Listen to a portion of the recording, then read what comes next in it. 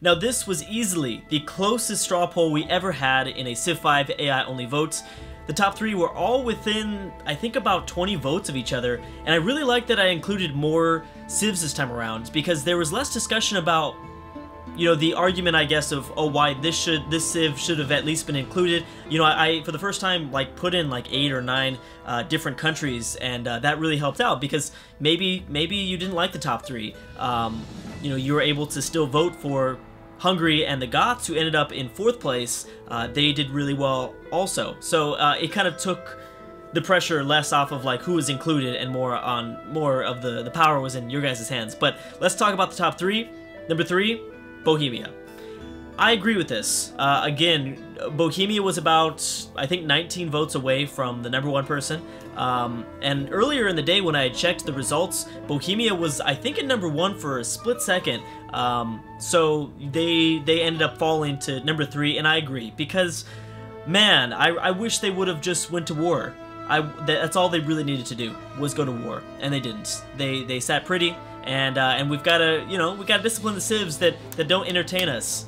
Number two, Egypt. Yes, Egypt got number two just slightly, and you know I agree. This was really tough because I thought that Egypt did really well, and if we would we if we went another hundred turns, it would have been close. Um, but at number one, it's got to be Portugal.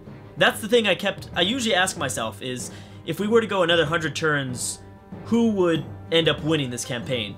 And it was so, it was such up in the air, so much, so much of it was up in the air. I couldn't tell if Egypt would continue to dominate, you know, Egypt was going after Assyria, or if Portugal just would have continued to, to roll over Europe. I think it's likely because Portugal was pretty cornered there in Iberia, um, but at the end of the day, I went with your guys' uh, picks, pretty much Bohemia 3, Egypt 2, and Portugal 1.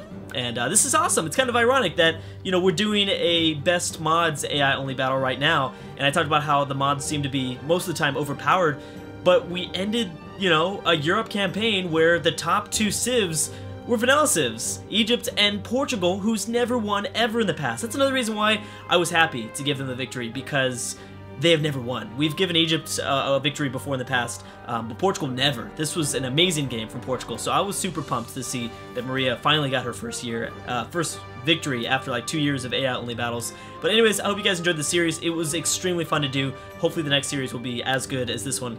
Uh, but anyways, thank you guys for watching, and I'll see you guys next time.